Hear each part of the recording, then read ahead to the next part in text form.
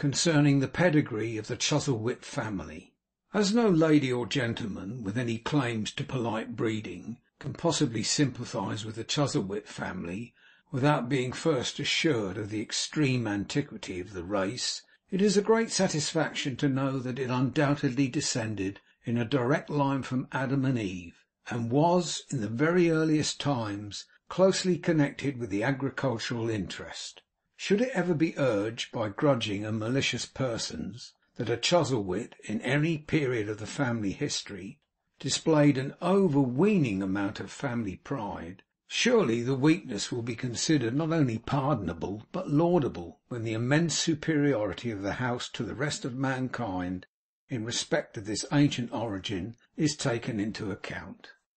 It is remarkable that as there was, in the oldest family of which we have any record, a murderer and a vagabond, so we never fail to meet in the records of old families with innumerable repetitions of the same phase of character Indeed, it may be laid down as a general principle, that the more extended the ancestry, the greater the amount of violence and vagabondism. For in ancient days those two amusements, combining a wholesome excitement with a promising means of repairing shattered fortunes, were at once the ennobling pursuit and the healthful recreation of the quality of this land. Consequently, it is a source of inexpressible comfort and happiness to find that in various periods of our history the Chuzzlewits were actively connected with divers slaughterous conspiracies and bloody frays. It is further recorded of them, that being clad from head to heel in steel of proof, they did on many occasions lead their leather jerkin soldiers to the death with invincible courage, and afterwards return home gracefully to their relations and friends. There can be no doubt that at least one Chuzzlewit came over with William the Conqueror. It does not appear that this illustrious ancestor 'came over' that monarch, to employ the vulgar phrase, at any subsequent period, inasmuch as the family do not seem to have been ever greatly distinguished by the possession of landed estate; and it is well known that for the bestowal of that kind of property upon his favourites, the liberality and gratitude of the Norman were as remarkable as those virtues are usually found to be in great men when they give away what belongs to other people.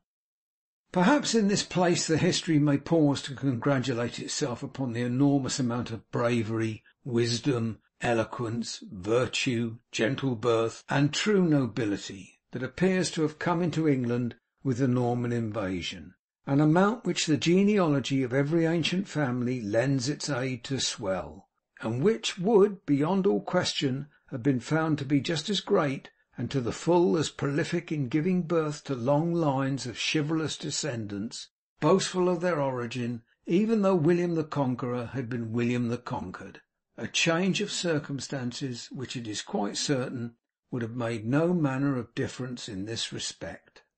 There was unquestionably a Chuzzlewit in the Gunpowder Plot. If indeed the arch traitor Fawkes himself were not a scion of this remarkable stock, as he might easily have been, supposing another Chuzzlewit to have emigrated to Spain in the previous generation, and there intermarried with a Spanish lady, by whom he had issue one olive complexioned son. This probable conjecture is strengthened, if not absolutely confirmed, by a fact which cannot fail to be interesting to those who are curious in tracing the progress of hereditary tastes through the lives of their unconscious inheritors.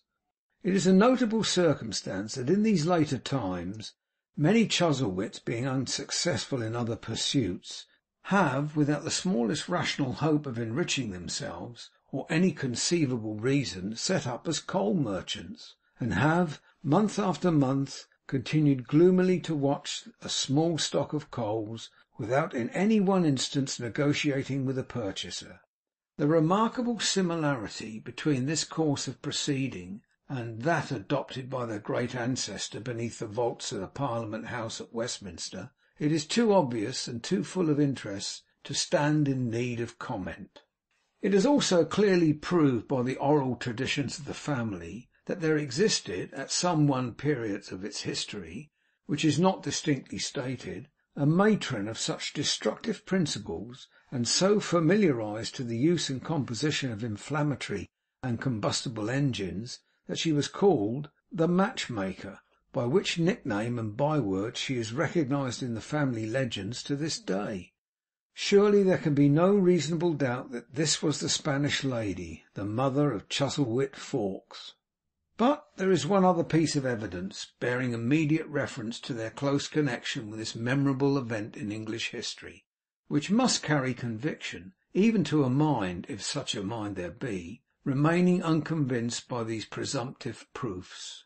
There was, within a few years, in the possession of a highly respectable and in every way credible and unimpeachable member of the Chuzzlewit family (for his bitterest enemy never dared to hint at his being otherwise than a wealthy man), a dark lantern of undoubted antiquity, rendered still more interesting by being, in shape and pattern, extremely like such as are in use at the present day. Now this gentleman, since deceased, was at all times ready to make oath and did again and again set forth upon his solemn asseveration that he had frequently heard his grandmother say, when contemplating this venerable relic, 'Aye, aye!' This was carried by my fourth son on the fifth of November, when he was at Guy Fawkes.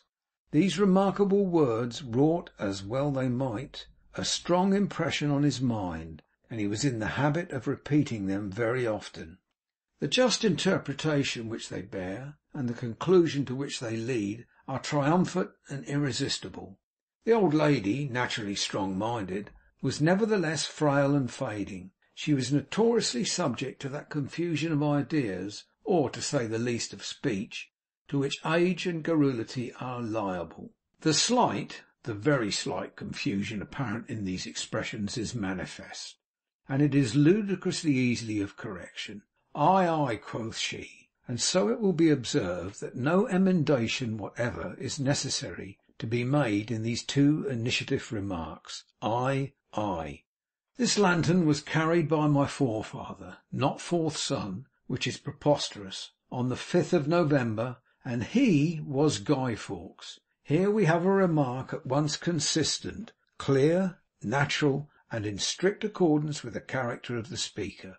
Indeed, the anecdote is so plainly susceptible of this meaning and no other, that it would be hardly worth recording in its original state, were it not a proof of what may be, and very often is, effected not only in historical prose, but in imaginative poetry, by the exercise of a little ingenious labour on the part of the commentator. It has been said there is no instance in modern times of a Chuzzlewit having been found on terms of intimacy with the great. But here again the sneering detractors who weave such miserable figments from their malicious brains, are stricken dumb by evidence. For letters are yet in the possession of various branches of the family, from which it distinctly appears, being stated in so many words, that one Diggory Chuzzlewit was in the habit of perpetually dining with Duke Humphrey. So constantly was he a guest at that nobleman's table, indeed, and so unceasingly were his Grace's hospitality and companionship forced, as it were, upon him, that we find him uneasy, and full of constraint and reluctance; writing his friends to the effect that if they fail to do so, and by bearer, he will have no choice but to dine again with Duke Humphrey; and expressing himself in a very marked and extraordinary manner as one surfeited of high life and gracious company. It has been rumoured, and it is needless to say the rumour originated in the same base quarters, that a certain male Chuzzlewit, whose birth must be admitted to be involved in some obscurity, was of very mean and low descent. How stands the proof, when the son of that individual, to whom the secret of his father's birth was supposed to have been communicated by his father in his lifetime, lay upon his deathbed. This question was put to him in a distinct, solemn, and formal way. Toby Chuzzlewit, who was your grandfather? To which he, with his last breath, no less distinctly, solemnly, and formally replied, and his words were taken down at the time, and signed by six witnesses, each with his name and address in full, 'The Lord Nozoo, it may be said it HAS been said, for human wickedness has no limits that there is no lord of that name, and that among the titles which have become extinct, none at all resembling this, in sound even, is to be discovered. But what is the irresistible inference, rejecting a theory broached by some well meaning but mistaken persons, that this Mr Toby Chuzzlewit's grandfather, to judge from his name, must surely have been a Mandarin? Which is wholly insupportable, for there is no pretence of his grandmother ever having been out of this country, nor of any Mandarin having been in it within some years of his father's birth, except those in the tea shops, which cannot for a moment be regarded as having any bearing on the question, one way or another. Rejecting this hypothesis, it is not manifest that Mr Toby Chuzzlewit had either received the name imperfectly from his father, or that he had forgotten it, or that he had mispronounced it; and that even at the recent period in question, the Chuzzlewits were connected by a bend sinister, or a kind of heraldic over the left, with some unknown noble and illustrious house. From documentary evidence yet preserved in the family, the fact is clearly established that in the comparatively modern days of Diggory Chuzzlewit before mentioned, one of its members attained to very great wealth and influence. Throughout such fragments of his correspondence as have escaped the ravages of the moths, who, in right of their extensive absorption of the contents of deeds and papers, may be called the general registers of the insect world, we find him making constant reference to an uncle, in respect of whom he would seem to have entertained great expectations. As he was in the habit of seeking to propitiate his favour by presents of plate, jewels, books, watches, and other valuable articles. Thus he writes on one occasion to his brother, in reference to a gravy spoon, the brother's property, which he, Diggory, would appear to have borrowed or otherwise possessed himself of. Do not be angry. I have parted with it to my uncle. On another occasion he expresses himself in a similar manner with regard to a child's mug, which had been entrusted to him to get repaired. On another occasion he says, I have bestowed upon the irresistible uncle of mine everything I ever possessed; and that he was in the habit of paying long and constant visits to this gentleman at his mansion. If indeed he did not wholly reside there, is manifest from the following sentence: With the exception of the suit of clothes I carry about with me, the whole of my wearing apparel is at present at my uncle's. This gentleman's patronage and influence must have been very extensive, for his nephew writes, 'His interest is too high, it is too much, it is tremendous,' and the like. Still it does not appear (which is strange) to have procured for him any lucrative post at court or elsewhere, or to have conferred upon him any other distinction than that which was necessarily included in the countenance of so great a man, and the being invited by him to certain entertainments so splendid and costly in their nature that he calls them golden balls. It is needless to multiply the instances of the high and lofty station and the vast importance of the Chuzzlewits at different periods. If it came within the scope of reasonable probability that further proofs were required, they might be heaped upon each other until they formed an Alps of testimony beneath which the boldest scepticism should be crushed and beaten flat. As a goodly tumulus is already collected and decently battened up above the family grave, the present chapter is content to leave it as it is; merely adding, by way of a final spadeful, that many Chuzzlewits, both male and female, are proved to demonstration, on the faith of letters written by their own mothers, to have had chiselled noses undeniable chins, forms that might have served the sculptor for a model, exquisitely turned limbs, and polished foreheads of so transparent a texture that the blue veins might be seen branching off in various directions, like so many roads on an ethereal map. This fact in itself, though it had been a solitary one, would have utterly settled and clenched the business in hand. For it is well known, on the authority of all the books which treat of such matters, that every one of these phenomena, but especially that of the chiselling, are invariably peculiar to, and only make themselves apparent in, persons of the very best condition.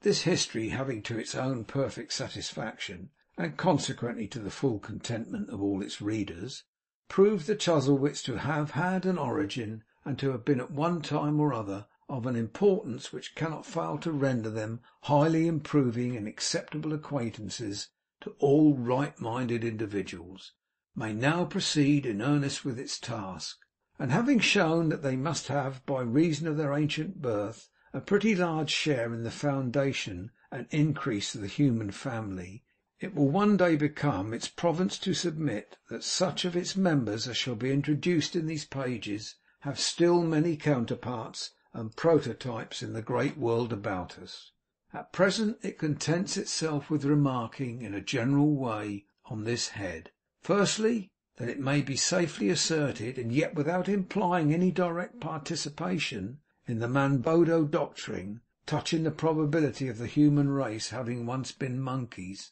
that men do play very strange and extraordinary tricks. Secondly, and yet without trenching on the Blumenbach theory, as to the descendants of Adam having a vast number of qualities which belong more particularly to swine than to any other class of animals in the creation, that some men certainly are remarkable for taking uncommon good care of themselves.